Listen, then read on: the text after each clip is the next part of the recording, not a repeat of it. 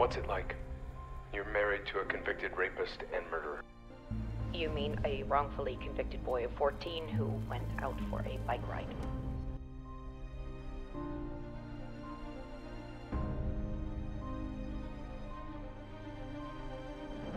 We have to keep fighting.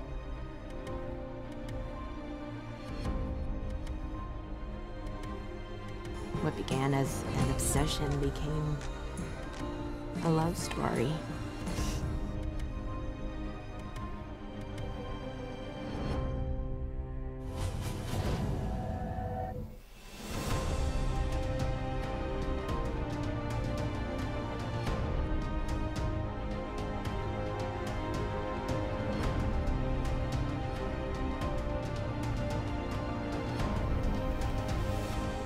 What we need is new and compelling evidence.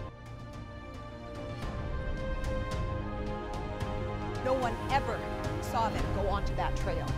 It's completely circumstantial evidence. Our job is to find the truth. We're not here to prove Steve innocent. My husband is innocent. And reopen the case. Truth serum, repressed memory denial. LSD.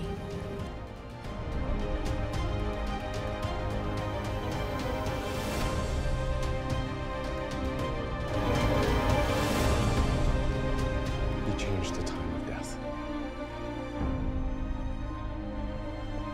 We almost hung him for that. There's no DNA. Before cases have ever made it to trial. We cannot give up.